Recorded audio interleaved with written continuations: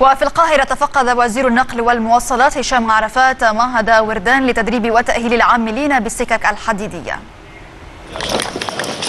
جولة تفقدية قام بها الدكتور هشام عرفات وزير النقل بمعهد وردان لتدريب عاملي السكك الحديدية لبحث كيفية استغلال العاملين والطلاب الذين يتم تدريبهم وتعليمهم بهذا المعهد في تطوير منظومة السكك الحديدية.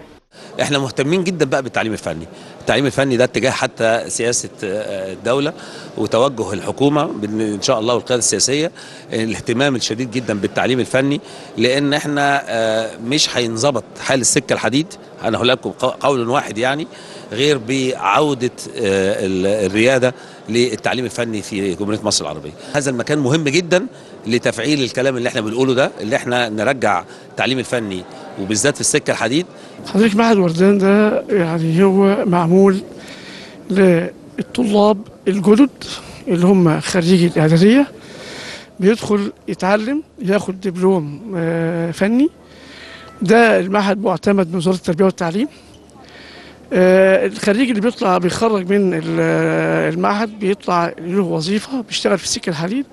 يحتوي المعهد على مراكز محاكاة وورش تدريبية للعاملين بالسكك الحديدية إضافة إلى المدرسة الثانوية الصناعية التي يتلقى بها الطلاب بعد المرحلة الإعدادية دراسة لكل ما يتعلق بالمنظومة الحديدية. هي منظومة جميلة جدا وأجمل ما فيها إن هي ملتزمة.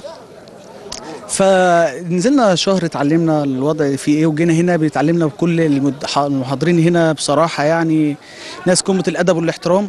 بيوصلوا لنا المعلومة بطريقة لطيفة جدا وبطريقة ممتازة. أنا بدرس هنا ورش هندسة سكة بدرس إشارات بدرس كهرباء بدرس ورشة ماكينات حديثة والبرادة والحام.